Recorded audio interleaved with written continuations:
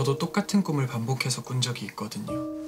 커다란 책상이 있는 방이 나오는 꿈이었는데 분명히 아는 장소다 싶으면서도 도무지 기억나지 않는 거예요.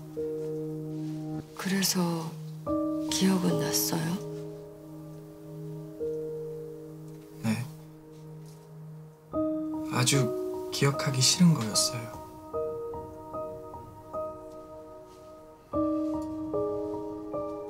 그때 알았어요. 기억에서 간절히 지우고 싶은 건 정말로 지워지기도 한다는 거.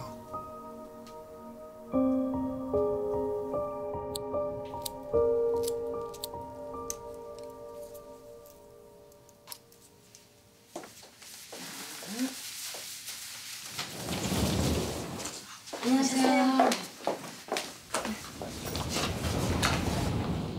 엄마. 어머 어머 어머 어머 세윤이 너무 산뜻해졌네. 병원비는 잘 냈어? 어. 그 김 차장 말이 사인실이 곧 자리 날것 같대. 잘하면 다음 달 정도. 그냥 계속 여기 있어. 몇 푼이나 아낀다고. 어, 세경이 언제까지 이러고 있을지 모르잖아. 그리고 아빠 남긴 돈도 뭐. 네 아버지 유산 아직 여유 있어. 북적거리는 병실 내가 드나들기 싫어서 그래.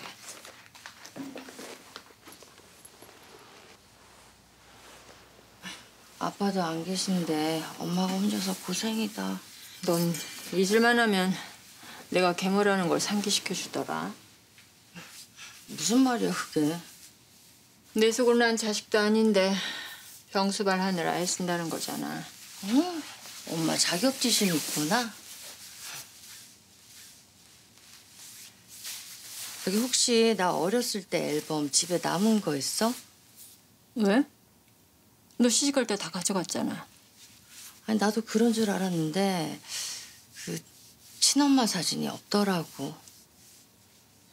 그건 네 아빠가 다 버렸는데? 아빠가 왜? 새장가 들면서 새 마누라가 신경 쓰였나 보지. 오해하지 마. 난 아무 말 안 했는데 네 아빠가 지레 그런 거니까.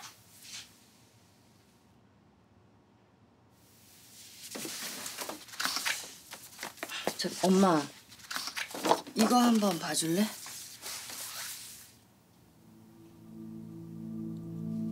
뭐니? 아 전에 얘기했던 애 이게 말로 설명하기가 좀